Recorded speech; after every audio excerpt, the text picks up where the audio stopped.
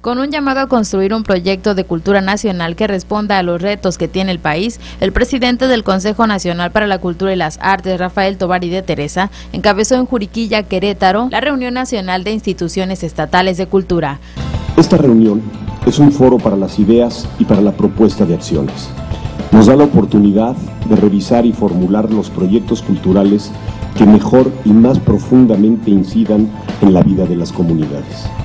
Estamos aquí con los representantes culturales de los estados. En cada uno de sus territorios está presente la diversidad que da forma y cohesión a la vasta cultura de México.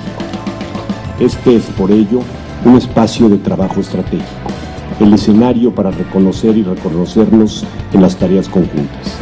Esta reunión nos permite identificar los múltiples puntos de encuentro entre las acciones de cada Estado y propiciar intercambios y generación de redes en beneficio colectivo. También asistieron Saúl Juárez Vega, secretario cultural y artístico de Conaculta, Laura Gabriela Cordera, directora general del Instituto Queretano de la Cultura y las Artes, Fernando de la Isla, secretario de Educación del Estado de Querétaro y los titulares de las instituciones culturales de los estados y dependencias de Conaculta.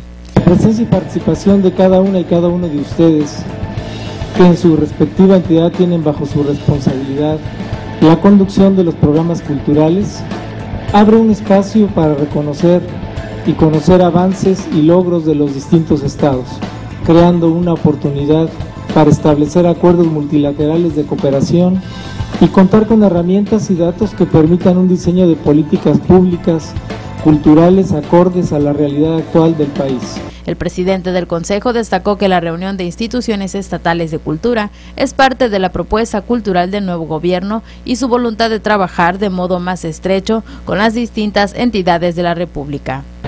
Cada una de las palabras de ustedes, de cada uno de los estados, responde a entidades, a unidades humanas riquísimas en sí mismas y que eso es donde está presente, radica la fuerza de nuestro país, en esa diversidad y en esa unidad de esa diversidad.